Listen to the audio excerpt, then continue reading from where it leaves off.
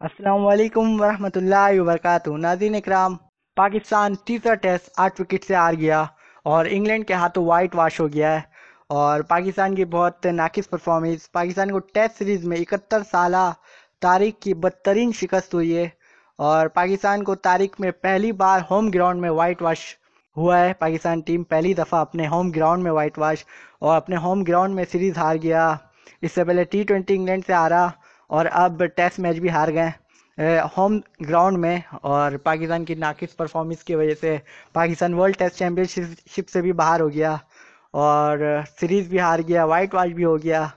तो बहुत बुरा परफॉर्मेंस दी है पाकिस्तान टीम ने। तो बस आज की वीडियो में इतना ही था।